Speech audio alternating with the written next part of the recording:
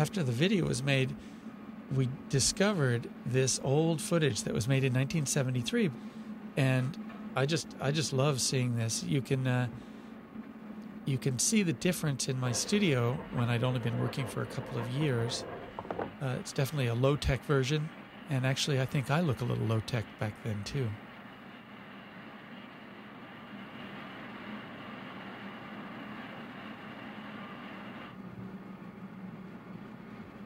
Those were the goblets that I made for 16 or 17 years before I stopped doing them. And at this point, in 1973, I'd barely begun to learn how to do them. It was still uh, a sort of a mysterious art to me. The quality of my glass, too, is way different. It's fun to watch these because I see all kinds of equipment that that I learned later on how to build better equipment and, and make it work better. I later learned how to make better quality glass that didn't have so many little bubbles in it. But my bench, my tools, my blowpipes, all are the same. The same. I, I actually sit today at the sa- that same bench that I was on back in my studio when I uh, lived in Connecticut.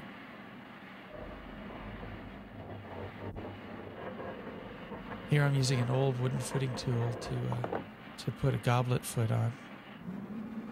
This was actually a, a hard thing to do uh, because the wood would burn out, and so each foot that I'd make was a little bigger than the one that I had done just before. You can see that stem begin to bend as it gets hot, but I needed to get it that hot in order to make sure that the bowl was hot enough.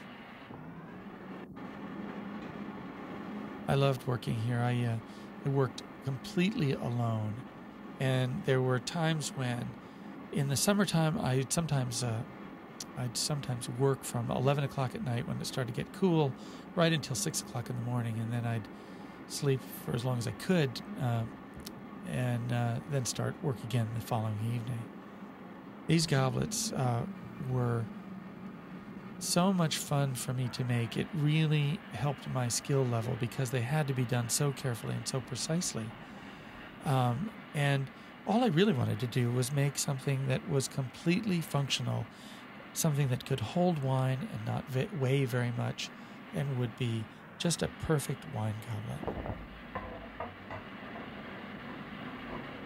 I could blow a hundred goblets in a row and not get one of them right, but being able to do that day after day, I didn't have to make much money, and, and my furnace didn't cost much to run, and so it was a it was a good time for me.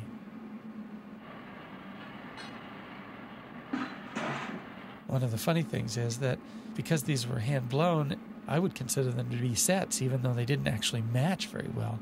Sometimes they, I considered anything that matched in height to be a set. In the front of this, uh, there are some pieces, some vases, and right to the right, there's that uh, there was a, a paperweight with a flower in it. That's the beginning of planets.